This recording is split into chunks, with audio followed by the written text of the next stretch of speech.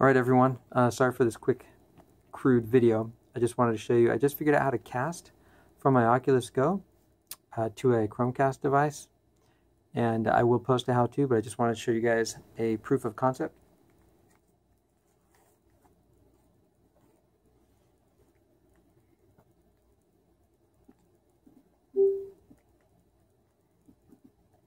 Art Plunge. I have increased the resolution on this as well. It's definitely noticeable when you're casting, especially to do a 100 inch screen like I am behind me.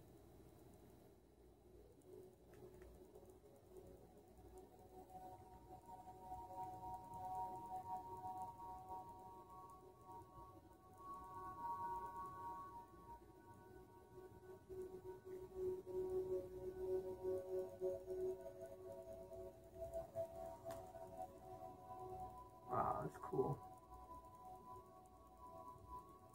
All right, well, okay.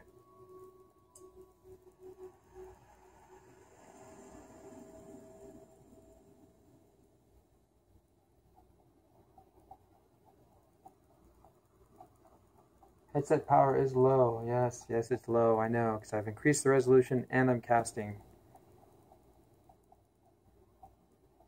I love this app. It's amazing.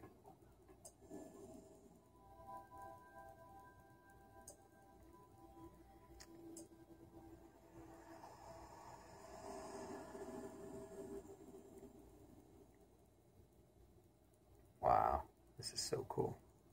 So surreal. That'd be cool if they made this so you could like walk around in it with the gamepad like you can in Netflix. Whoa. Anyhow, uh, that's it. I will post a how-to. I uh, hope you guys, hope you guys find this interesting. There is a lag, somewhat of a lag course, like uh, half a second, something like that.